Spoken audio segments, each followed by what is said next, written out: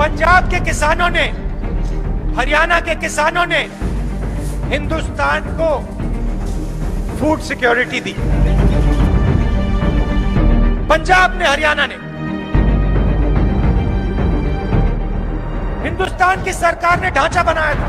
वो दिन मोदी सरकार, बीजेपी सरकार सब भूल गई है, जब हमारे पंजाब का किसान सारे हिंदुस्तान के लोगों को अनाज ढिड भरने के लिए देता था लेकिन आज उसके आज क्या हाल का काले कानून बनाकर एमएसपी को जो ख़त्म करने जा रहे हैं इसके साथ ये सभी वर्ग को लोगों को बहुत ज़्यादा नुकसान पहुँचेगा।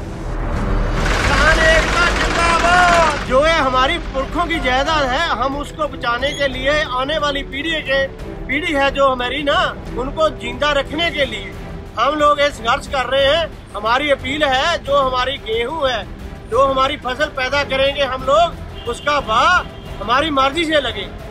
हम फिरोजपुर से हैं हम किसान हैं जो बीजेपी सरकार ने भारत सरकार ने किसानियों के विरुद्ध तीन ऑर्डिनेंस लेके आए हैं। वो तीनों ही बहुत खतरनाक है भयंकर हैं।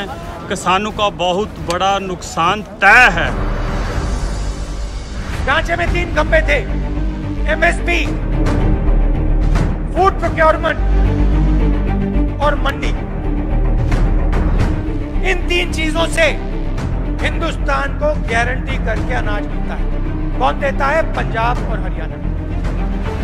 नरेंद्र मोदी जी इस सिस्टम को खत्म करना चाहते हैं क्योंकि जब तक ये सिस्टम रहेगा तब तक उनके मित्र अंबानी अदानी जैसे लोग हिंदुस्तान के किसानों का पैसा नहीं ले मंडी बंद हो जाएगी बाबूजी क्या खाएँगे हम? हम तो भूखे मर जाएँगे मोदी क्या करेगा तो? जब हम लोग बिहार में काम भी नहीं है। हाँ, यहाँ पे हम नहीं मिले, मिलेगा काम तो क्या करें जिम्मेदार कमा रहा है तो हम भी खा रहे हैं। और जिम्मेदार कमाएगा हमें ये तो ये तो कानून गलत कर रहे हैं मंडी बंद कर दोगे तो पता कहाँ खाएँगे छोटे छोटे मुरादाबाद से बच्चों को लेके आना पड़ेगा जो पहले सिस्टम चल रहा है बहुत बढ़िया चल रहा है जी। हमारे वक्त बाल बच्चे जो भी हैं ठीक सिस्टम चल रहा है जी। हम नहीं चाहते भी ये काला कानून पास हो गई। ये कानून गलत है। जो तुम मंडी बंद करोगे। मंडी बंद नहीं करना नहीं करना नहीं करना। अभी हम जाग उठे हैं। हम जितनी देर तक हमारा ये फैसला नहीं होगा जहाँ अपना फैसला नहीं होगा हम टेक के नहीं बैठेंगे कंपनी क्या पता कहाँ बैठेंगे हम कहाँ लेके जाएँगे? कंपनी नहीं कहाँ दिल्ली जाके बैठते हैं कहाँ बैठते हैं हम उसको कहाँ तीनों बिलों का विरोध करते हैं। बीजेपी का जो ये बिल वापस लेने पड़ेंगे सर। मोदी सरकार को बता देंगे हम क्या है। किसान ये कानून सरकार आप ही ले ले। लड़कियाँ, लड़के धक्के काटते फिरते हैं, कोई नौकरी नहीं मिलती।